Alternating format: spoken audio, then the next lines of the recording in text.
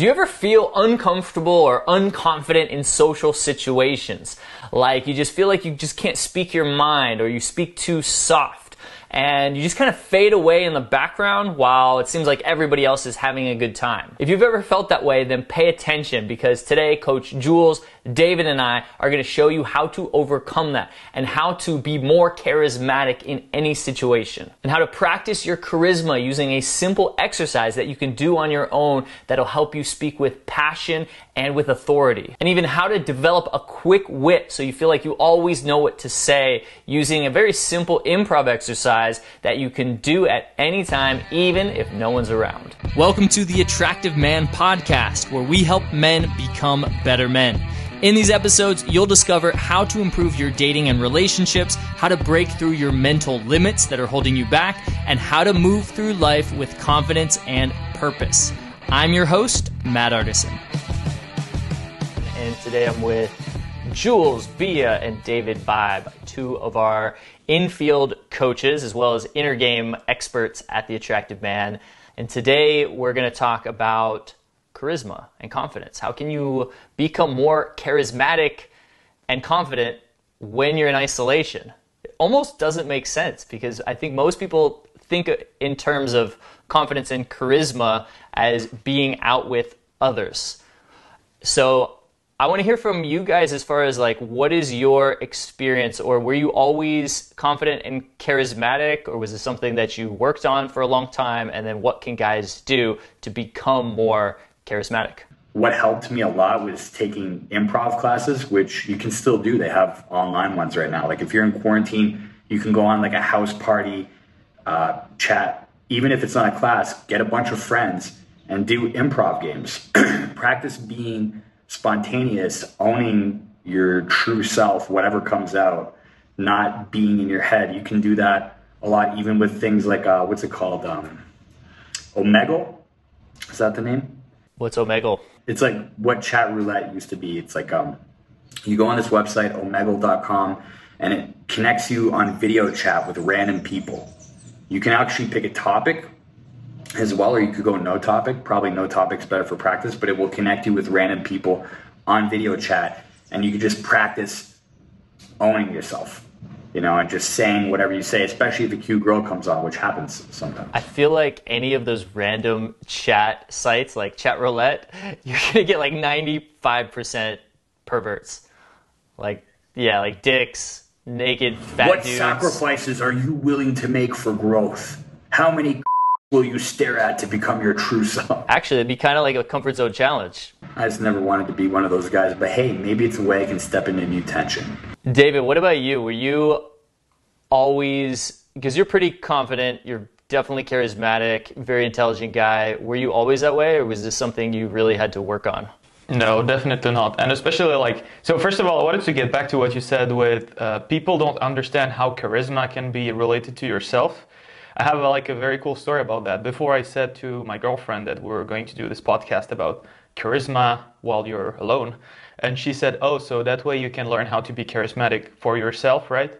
it was literally like no connection with what is happening with charisma. And for me, it has been like that. Like for a long time, I was smart, intelligent, and I, w- I had just a few friends with whom I connected very, very well. But whenever I was in like social situations, I feel I felt pressured and I felt that I would never know what to say and say the right way, and that I would say some uh, wrong things. And I, it it happened to me like a couple times. I remember once I was a kid and we were at a, a gym and it was with parents or something. I was very small, but I remember this uh, like even now and. Um, in uh, in so my my primary language is French, and uh, the you call uh, a teacher maîtresse, and your mom is maman. And I would call the teacher mom, literally. And like everybody laughed, and I remember that. And like from there, I would never just open my mouth in front of people when they were more than two or something like that, and not my friends. So especially talking with girls was not easy in the first place. And uh, that's why actually charisma, like that's where I'm going, charisma can be built if you work on it by yourself. Um, I think that uh, the way you feel when you're talking to people is mostly because it's how you feel inside. So let's say me, if I would feel uh, nervous, is because I had a lot of nervousness inside me. Or if I would feel shitty when talking to people, is because I had a lot of shit inside me. My mentor Josiah Price um, made me try this exercise on one of our boot camps when I was a student of the Attractive Man. He made me talk to a wall as if it was a girl and I was supposed to talk to her for three minutes and try to, you know, go on a date. And after one minute, I felt like shit. I really felt that I was stupid, I was saying stupid stuff, and it just didn't make sense. And then I turned to him and he asked me, So, how do you feel? And I said, Well, I feel like shit right now. And he said, Okay, who made you feel like shit? And I had a like I had a breakthrough because I was talking to a wall, right? So the only person that made me feel like shit was me, and that's mostly what happens with our like all of our students when they feel awkward or they feel weird. It's just they have that inside them and they just see that all the time. So if you learn how to be charismatic for yourself and love how you present yourself, then you naturally become more charismatic. So before we get into those uh, like exact ways of how to do that, I thought it was good to kind of introduce it that way because that's that's that's really the power.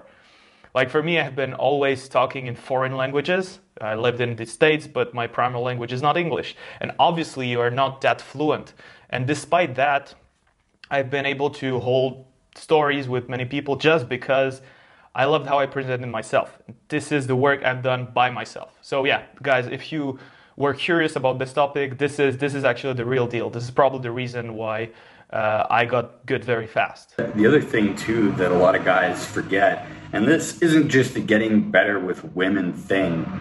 This is just a life enjoyment thing. It's like self amusement, like finding, training your mind to find the things that are silly and funny, because we get put into this mold that you have to be an adult, you have to grow up and pay your taxes on time, and here's the cable bill. And that's boring as shit. And then people get into this like droning pattern of just being, I, I have to be serious all the time. Like a lot of that inner weirdness or awkwardness or whatever can actually be pretty systemically eliminated when you kind of train your mind to focus on things that are funny, things that are weird, funny details, and you're just in your mind like amusing yourself all the time. Even cracking jokes by yourself. I'm I'm a super weirdo like that. I'm like here on my own, and I will literally tell myself jokes and laugh at them. We can testify.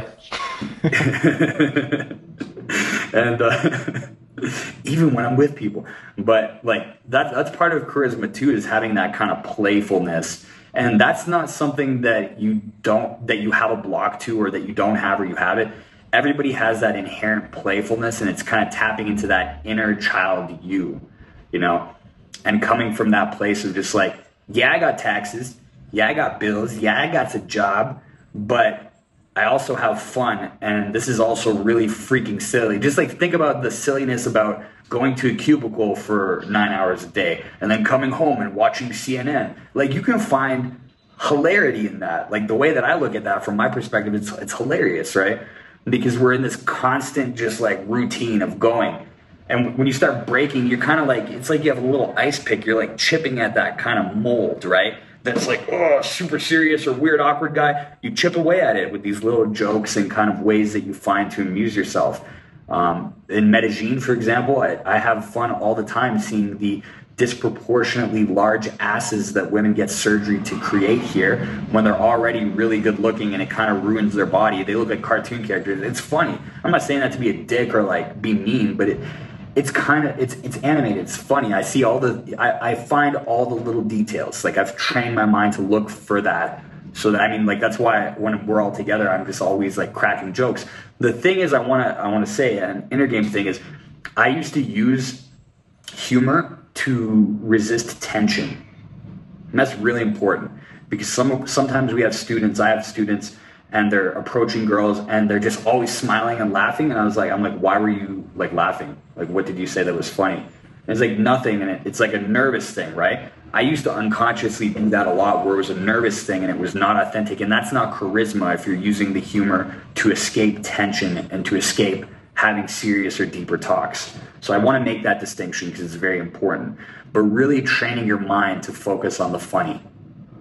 Because everything always can be looked at in a funny way, just as it can be looked at in a depressing way or an angry way or anything. It's just a flavor that you choose. It's cool that you say that because it's exactly where I was going. The best exercises to improve your charisma are actually games. So uh, I think we can get into like what we would do if we were by ourselves and had to improve our social skills. But I had some weird, like really cool games. Uh, when I was um, a student at the Attractive Man, I didn't have the chance to kind of be able to go out every day and every night to practice with people because I was studying and I was also hitting the gym and reading and learning a lot. And you know, obviously, university studies take time. So I understand when people say that they literally don't have time to go out, even if it's most of the time an excuse. But how I uh, used to learn how to never run out of things to say is because I was talking to myself first things. That's probably how I learned English, by the way. Like, I would literally read out what I would see on my screen for myself. I would think out loud. And not only does it help to kind of put your put your ideas in order, but also it helps you to be more fluent with what you say and judge yourself less because you get used to your own voice. So that's the first thing. So that's not a game per se. It's just yeah, just play yeah, pl- play the creep. Just be just be with yourself. that's it. Second game that I always play is just okay. See yourself uh, taking your breakfast, and you have this uh, glass of uh, water or coffee or orange juice. How about just talking to this glass? And now you would uh, play a small game, which in improv is called uh, word chain association, which is very funny to do. Uh, whatever you would say, you can find a word in a sentence that you say on which you can start another story. So let's say, uh, if I say to, I guess everybody here knows the game, so uh, I would say, um, yeah, this morning I ate oats and bananas, and that made me feel super good. And someone can just take the role, which obviously, if you're talking alone, you can just keep going and talk about bananas or how you feel good. Oh, that makes me think of uh, my trip to Costa Rica when I was at the beach and I felt just super good, right? It's not related, but you can always find topics that are related together. Just keep switching topics, which you can also play if you, you know, you're not that confident enough to just speak accordingly to what you say. You can just Google. Uh, there are plenty of websites. I don't even remember uh, random word generators, and depending on the word that comes, you just start talking. That's where these exercises are actually very helpful because if you say something that doesn't make sense, but you were talking about something, then if you practice the exercise we gave you here and you talk to the glass and you play with those random words, then you can literally change the topic of the conversation and nobody will notice. Or you could just laugh about it as you said. Yeah right. Like it's it's it, it's a matter of like how to adapt to the situation which obviously you need you learn only by practicing. Talk to a glass. Talk to a plant do things that make you feel stupid so that you see that it's only thoughts, it's only your mind limiting you.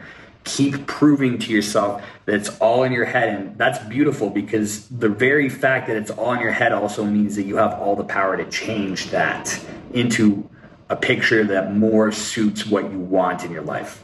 Hey man, if you want to keep watching this podcast episode, then make sure to check out part two right down below where we talk about how to be more charismatic, how to own who you are and what you say, and how to not care what others think about you, how to not give a shit. So go ahead and click the video down below and I'll see you there. My name is Matt Artisan from The Attractive Man and I'll see you in part two.